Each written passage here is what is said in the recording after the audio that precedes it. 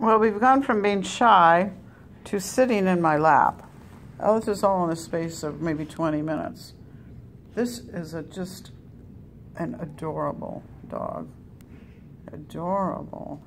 Oh, he likes to have his ears rubbed. Look at him. Oh, he's so cute. Oh, he's so adorable. What do you have to say, huh? Is this your first video? Hmm? He just jumped in my lap and curled up. And now look, when he pet his ears. Mm-hmm. So he was a little shy when I came into the kennel, but now he's not shy at all.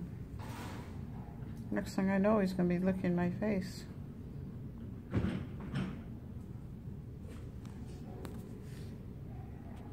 Now this little one over here, he's more, much more shy.